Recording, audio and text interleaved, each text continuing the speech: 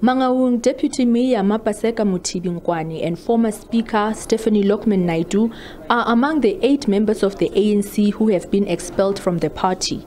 Proportional Representation Councillor Patrick Munyakwani is another. The party announced that it was also discussing the future of three more councillors.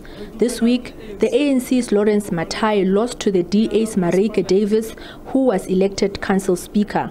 The party is now considering legal action to challenge the legitimacy of the council sitting. We have called you to communicate our decision to expel eight councillors. Uh, it's four PR councillors and four ward councillors.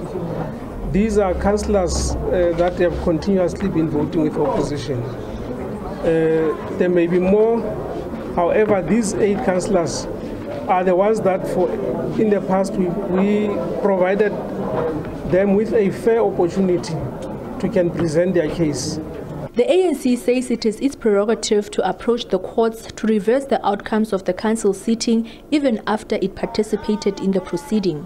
It says that the council sitting was not procedurally constituted.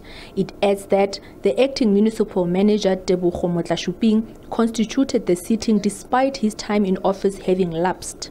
We strongly believe that the council that took place uh, on Wednesday did not was not convened uh, by a person who has the authority to do so.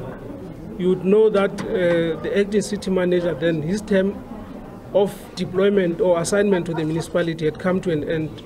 A council which said about two weeks ago concluded not to extend his term of office. Rather, a different name was suggested by council. The ANC says it is confident that it will retain the mayorship of the city as it had four other smaller parties that are cooperating with it. Kamogelo Seekoei, SABC News, Bloemfontein.